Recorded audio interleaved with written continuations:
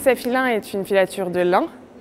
On est une société familiale qui existe depuis plus de 250 ans et nous proposons un fil de lin 100% européen et 100% français.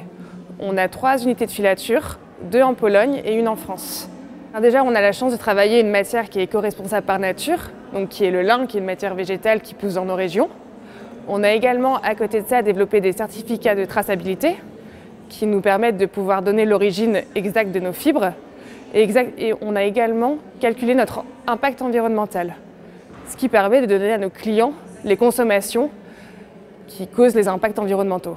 On est vraiment justement dans cette transparence parce qu'on sait que c'est très important et pour le consommateur et du coup pour nos clients.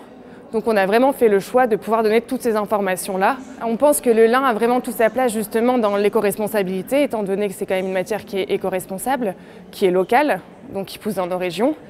Et on a de la chance de pouvoir encore la transformer de façon mécanique. Aujourd'hui, je pense que l'éco-responsabilité est vraiment rentrée au cœur de la consommation et donc euh, les consommateurs sont de plus en plus alertes par rapport à ces sujets et qu'aujourd'hui quand on, fait la confection d'un produit, il est très important de prendre l'éco-conception et l'éco-responsabilité dans, dans la conception du produit. On a ouvert une troisième unité de filature donc, qui est située à Béthune dans les Hauts-de-France, donc au cœur des cultures du lin et également dans notre euh, berceau historique qui sont les Hauts-de-France et donc euh, la région Nord-Pas-de-Calais. Et donc là, elle est en train, on a commencé la production avec la commercialisation de notre fil euh, d'ici cet été.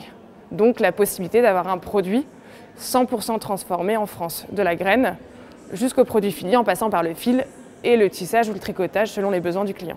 le marché de l'éco-responsabilité dans le textile est vraiment voué à grandir.